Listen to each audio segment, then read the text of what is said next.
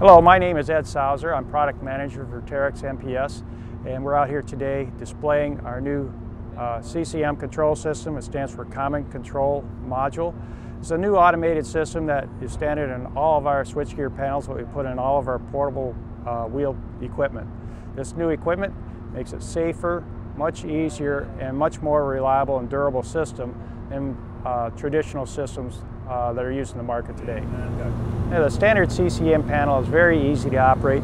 simply has an on and an off button, and all the motor starters start in the proper sequence. All the interlocking is automated. Very easy for the operator to learn and train on. Simple on button turns on the entire plant.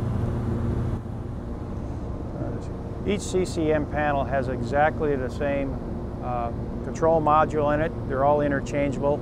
Every plant, no matter it's a closed circuit crushing plant, open circuit uh, screen plant, jaw plant, they all have exactly the same control module in there because we've got this unique communication system to uh, make it simple.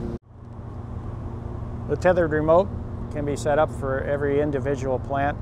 They can be uh, individual or you can pull multiple tethers together into a control house so you can run an entire spread.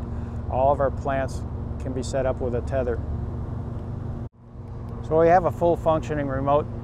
We can turn on an individual plant on and off or an entire spread simply from the handheld remote. The feeder speed, because feeder speed turned on, the feeder speed can be increased or decreased and we have the ability to turn on up to two auxiliary devices.